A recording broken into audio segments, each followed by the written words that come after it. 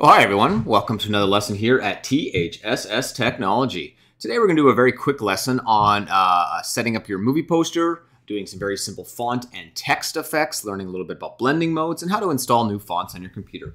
So let's get started. So over here in Photoshop, I'm going to go up to New File, and for your movie poster, we've kind of given you a preset size of 18 by 24 inches, okay? And make sure you set your resolution to 150 pixels per inch, and then we're going to click Create.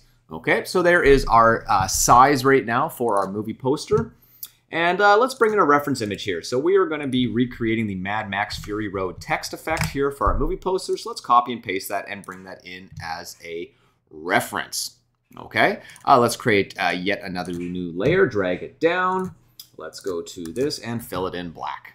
Perfect. Okay, so let's start off by uh, going to the font tool over here on the left.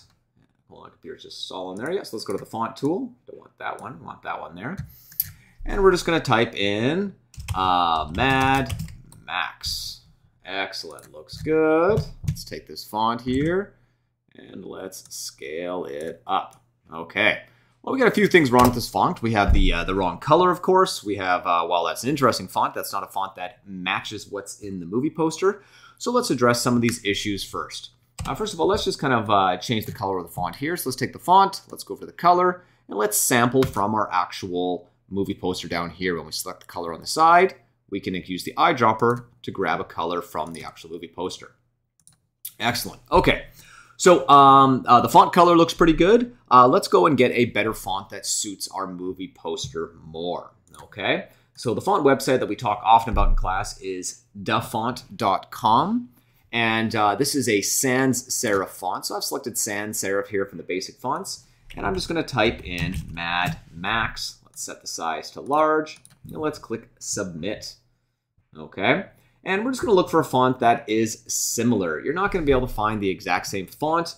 Don't worry about it too much. You'll notice when you do a side-by-side -side comparison, but when you're done your movie posters and we have them printed on the wall, we're not really going to be doing any side-by-side -side comparisons. We're looking for an M that kind of dips down low and is flat at the bottom. Okay. Uh, the Akira one's not too bad. Let's see what else we got here. The bold font's okay. Um, but we'll notice our we got straight up and down lettering. So let's look for something that's got straight up and down lettering. The headlines has got that, but the M doesn't come all the way down. Uh, let's see here. No, no. What else do we kind of got going for our fonts here? Let's go on to page two here. And uh, this one's actually not bad. This built titling here. Uh, it's not as large in the bottom here, but I actually like the general shape of this. Uh, let's do another quick little look, but I think we're going to go back and grab that one. It's a bit too deep of an M there. Yeah, I think that's uh, I think that's the winner for now. So let's take this font and we're going to click download. Uh, I'm just going to save this onto my desktop, uh, but I recommend you save this font file into your folder. If you save the font file into your folder, then you'll be able to access your work from any computer, not just the one you were sitting at. So I'm going to click save there. And let's go back to my desktop here and open up the font that we got. And uh, you'll notice here there's actually a lot of font files. So the question is, which one do we open? Well, let's go into our built titling here. And we can see all the different fonts we're looking at. We probably want the built titling bold is what I kind of imagine. Yeah, we got a bolder font, so let's go for the bold here. So we want the built titling bold, so let's go back to here. And built titling fold, that's the one we want. So we open it up, and we're going to click install. Excellent, so that's all installed. Let's go back to our poster here. Let's go back to our text tool with the D key and select our font. Then up here at the font selection, there's our built titling. Excellent. Okay, so uh, now next thing we're going to do is we're going to make this font a little bit larger. So we can go to our font size over here in our character window and we can scale that up. Okay, that is looking pretty good. Let's center that there. Excellent. Okay, so we have uh, a few issues here we need to kind of uh, resolve. Um, I'm thinking we're going to want to uh, space out these letters a tiny bit more and reduce the space in between the text here. So we're going to go to Window, and we're going to go to Character to open up our Character panel here. Okay, uh, might already be here with a little A. You can just kind of remove that and uh, uh, and pop that open whenever you need to. Okay, so here's your font size. Uh, this, uh, this is the spacing between your fonts here. Right? So we can lower this amount and we can get these fonts a little bit closer together. Excellent, that looks pretty good. You can increase the spacing between your fonts there. That's a bit, that looks pretty good actually. I am pretty happy with that. That looks nice, excellent. Okay, so let's bring in the uh, Fury Road that we're gonna kind of see in between the Mad Max there. So let's create, we don't need this one here, let's delete that layer. Let's create a new font layer. So let's go to our text tool and let's uh, click. And let's type Fury Road. I spelled that wrong, kind of hard to see when it's small, but Fury Road. Excellent. Okay, so there's our Fury Road. Let's grab our color from this to make sure it's the correct color. Click OK, and let's scale this up. Okay. Uh, we're going to want the uh, built titling font as well. And now let's scale it down. So it fits in between the lines nicely. Oops, wrong font there. We want to grab the Fury Road font. Okay, there we go. Let's grab Fury Road here. And the obvious issue here is that uh, it's, layers. We're constantly grabbing this layer all the time when we don't mean to, so I'm actually going to lock that Mad Max layer for now, so I'm not grabbing it by mistake. There we go. That's nicer. And let's just nudge that up with arrow keys. Okay, so the Fury Road is the right height now, but we're actually going to want to space out those letters a lot more. And we're going to do that right here. So we're just going to drag this over and let's space out these letters. Uh, so we have a bit more room so it fits nicely between the Mad Max. Okay, down a little bit more, a little bit more.